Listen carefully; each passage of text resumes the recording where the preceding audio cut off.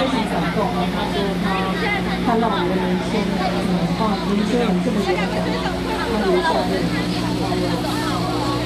会觉得在我们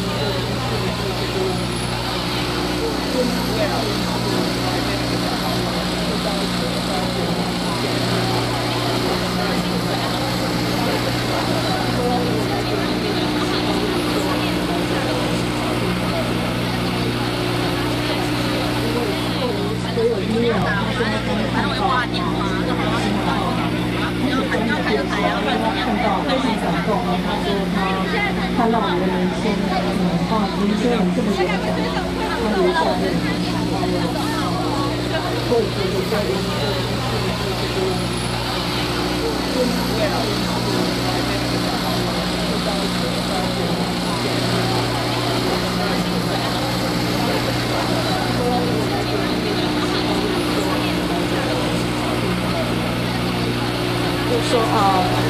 二十二年前，同样这个时间啊，我们也是一群啊学生啊，还有一群教授，包括李正元啊院士啊林山田教授，以及我们历史系的张东啊张中栋老师，他已经过世了。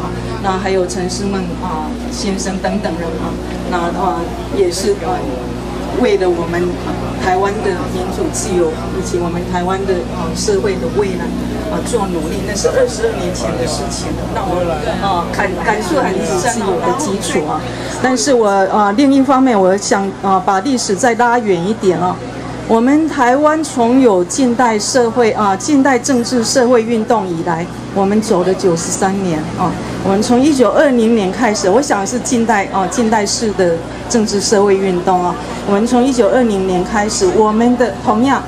我们的学生、年轻人、知识人，加上民众啊，我们啊一起努力啊，为了台湾，为了建立一个台湾的议会啊。今天啊，今天早上赖中祥律师也提到啊，今天的记者会啊，我也来了啊。那赖中祥先生也讲到，就是说我们啊，这是九十三年前啊，我们就开始啊奋斗了十四年，为了建立一个能够为台湾谋求福利啊，建立啊一个民主。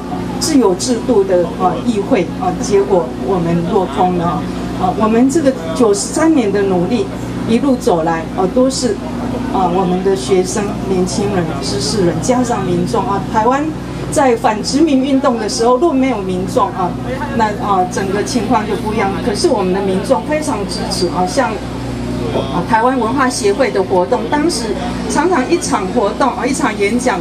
一千人参加，那是不得了。我们今天很多学术会议哦，发便当，然后给你那个漂亮的袋子哦，花我们公家很多钱哦。